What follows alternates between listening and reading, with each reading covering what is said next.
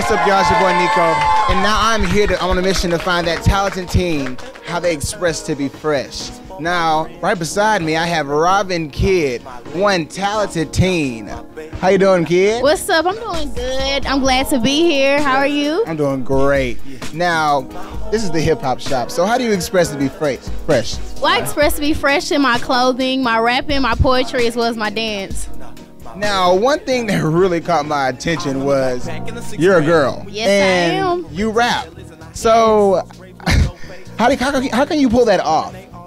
Well, you know, sometimes it's kind of hard because you don't get the respect that you want at first, but you just have to show these dudes that yes, I'm a female, but I can rap just as good as you can.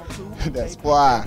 So does this like does the female thing kind of affect your hip hop passion? Yes, it really does. It gives me a lot of motivation just to go hard and make sure my lyrics are better than all these other dudes out here. Great.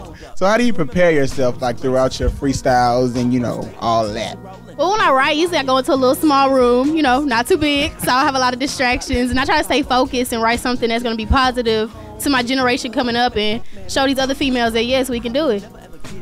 Great. So how did you start? Because a lot of you know rappers start very little, but I know you did it very big because you are a girl, right?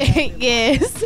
well, well, first I started off with poetry. I was always into the arts, and then I just combined it with my passion for music, then started rapping.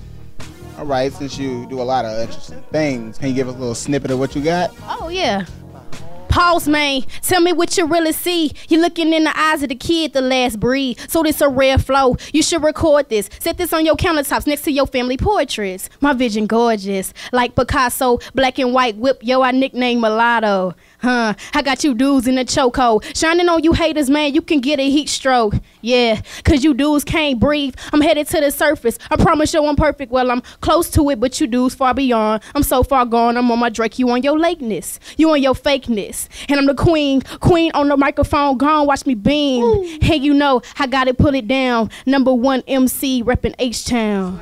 Woo! Now that's fresh. Now I know you prepare yourself very well. yeah.